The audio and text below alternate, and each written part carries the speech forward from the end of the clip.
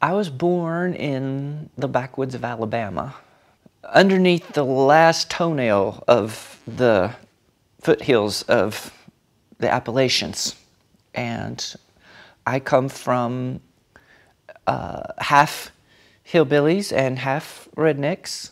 And you don't necessarily want to breed those two because you get non binary every time. But no, um, there was nothing positive about being feminine reflected in the backwoods. The only time I saw someone like me being celebrated was on television. I saw one particular person, uh, Jimmy James, on the Phil, Don- Phil Donahue show as Marilyn Monroe.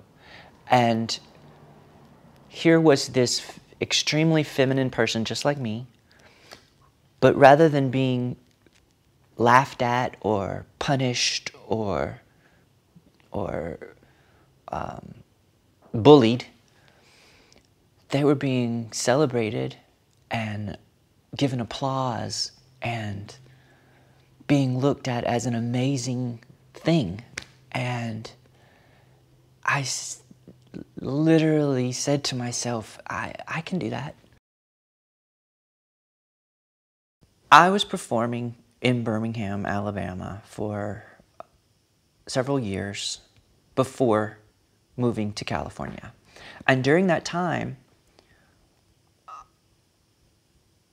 I would be part of the gay pride in Birmingham, and we actually would march uh, through the streets uh, at a time when a lot of my friends didn't want to do that because there were television cameras there, and their families would be able to see them uh, on the local television, and that's and that they were very fearful uh, for the loss of family just from being on television at a gay pride march. Um, and as time went by, I did get noticed by the Birmingham News, who did a story on Maximilliana and the drag scene of Birmingham in like 1995. And it was actually a very positive story to come from the Birmingham News, which is not known as a progressive newspaper, especially at that time. And that story had my pictures as Maximilliana, my original name printed, and that is the statewide newspaper in Alabama. And that is how my family found out about Maximilliana. They read it in the paper. It was a wonderful experience because the people who I had been performing for, the community in Birmingham, were so proud. People literally framed that and put it on their wall. I mean, these people, it meant so much that there was at least a, a little bit of a glimmer of hope that our community was having a positive light shined, shone upon it. My personal family, however, took it quite differently. As a matter of fact, um,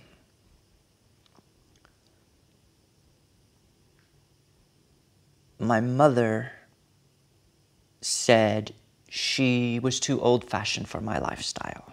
And that's pretty much the last time we spoke. Um, it was right after that article came out. The first singing group I was in was called the Yellow Creek Boys, and we were all like 10, 11, 12, something like that. And we went around to churches in the South and sang harmony. I have always sang alto. I've always sang the upper parts. Uh, when I was older, I learned there were drag shows in Birmingham where people were lip syncing and making money winning contests. And my thought was wait a minute, I can sing those exact same songs those people are lip syncing. I needed to make a living, so I'll go and sing these songs, these people are lip syncing, and I will win these contests. And the very first night, that's what happened. I went, I sang, I won, everything was great.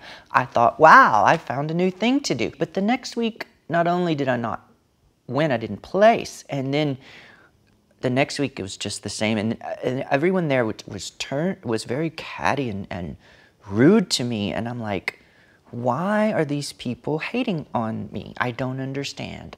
So I asked one of the performers one night, what's going on? Why do you guys hate me so much? And they said to me, because this is a drag show. And we don't like when women come into our shows and take our money. And I said, What are you talking about? And they said, You're female this is a drag show. You sing, that's nice, go sing in a straight club. And I literally grabbed my breast form and pulled it out and showed my, like, what are you talking about? And they were like, what? I developed a number where I sing a lot of feminine songs, Debbie Gibson, Madonna, Tiffany. And in the very end, I generally sit down in a chair and I'm talking, and then I'll say, and I'll sing one more for you. And I sing Bobby McFerrin down in the basement, way down here.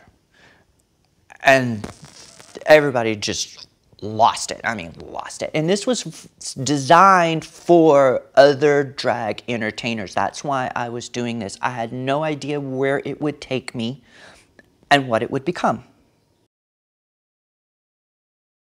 When I came to Los Angeles, I got on the phone and I started calling all of these clubs to say, I'm looking for a drag show. So I called the Queen Mary and they said, oh, I'm sorry, we don't, we don't audition. Uh, you can come and dance, audition to dance on the poles in the back if you want.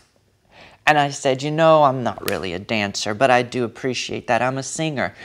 As soon as I said singer, they said, oh, you're a singer? Well, come to karaoke because if you come and sing at karaoke, the owner will see you. So sure enough, I went that week to the karaoke and I met the owner and he said, come tomorrow to audition for me. I pulled out my old number that I was doing in Alabama where I dropped my voice. And the moment I got to that spot in the number, they stopped the music. Everything was done. You're hired. We want you in the show tonight. You're going to do that number in the show tonight. I wound up being in that show for six years. They would not allow me to take that number out. So sometimes it's a good thing to not know what you're doing.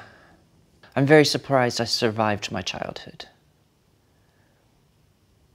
But I'm very proud that I did because now the whole reason I'm sitting here right this moment is because I really want to make it easier for someone else coming down the line.